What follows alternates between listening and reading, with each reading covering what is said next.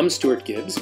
I'm the author of the Spy School series, the Moonbase Alpha series, and the Fun Jungle series, and this is my newest book, Tyrannosaurus Wrecks. Now, because of the way uh, video works on uh, computers, uh, you're getting a mirror image of this, but I promise you, that if you actually look for the book in stores, uh, Tyrannosaurus Wrecks will be spelled uh, the proper way, not in mirror version.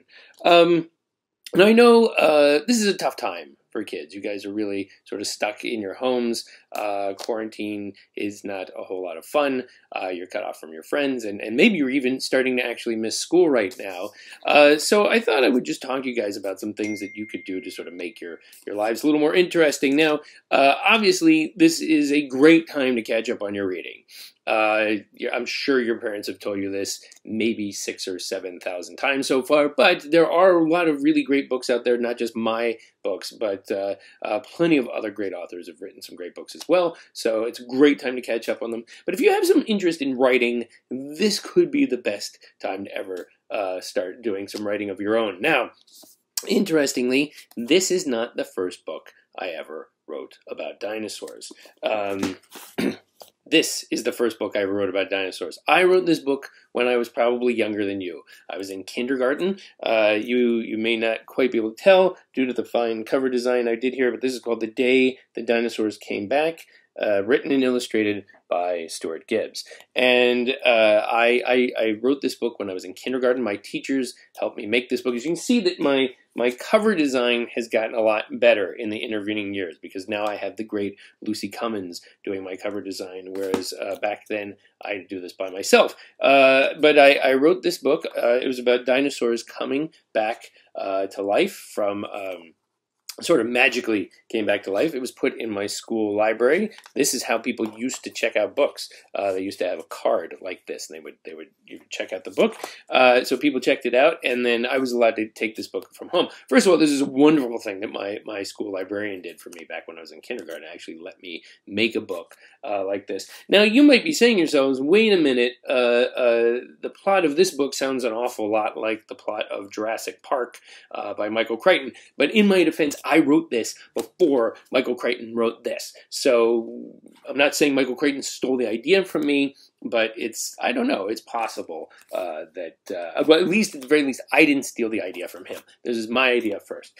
Uh, but okay, so where did I get this idea? Well, the thing was, when I was a kid, I was just fascinated by dinosaurs, and I thought, what could be better than being in a world where dinosaurs still existed? In retrospect, maybe that wasn't the best thing to actually wish for because uh, it's kind of dangerous.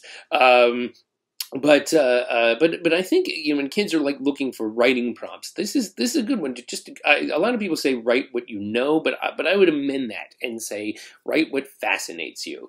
Uh, take something that fascinates you. If you love sports, uh, you know what would it be like to be able to be a professional baseball player at your age, or a soccer player, or or or to go to the Olympics at your age. If if uh, you're fascinated by science, what would it be like uh, by, by space travel? What would it be like to go into space at your age? Just take what fascinates you and and put yourself into that world. Imagine what it would be like to go into that world. So much of my writing uh, is is me imagining what it's like to be in the world of spies, or what it's like to be uh, on a moon base, or what it's like to live in a giant zoo.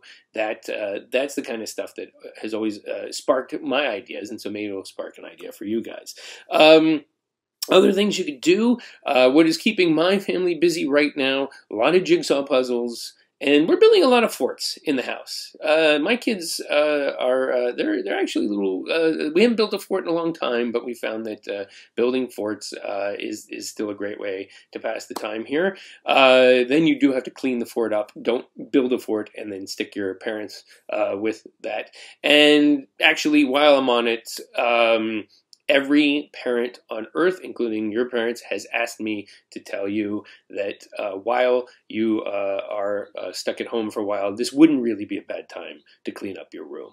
Uh, so, okay, again, I'm Stuart Gibbs, uh, Tyrannosaurus Wrecks, the new book, uh, but obviously there are many, many other books. I obviously haven't done a great job of cleaning my office either, but the Spy School series, the Moonbase Alpha series, the Fun Jungle series, the and oh, and the new Charlie Thorne series as well, um, which I should oh right, Charlie Thorne Last Equation right there. So uh, any of those books, any book by any other author. Uh, I know it's not easy out there, kids, but um, we're going to get through this together, okay? Uh, I know it seems bad, but, but we will get through this. So in the meantime, let's all make the best of it and uh, let's do some reading.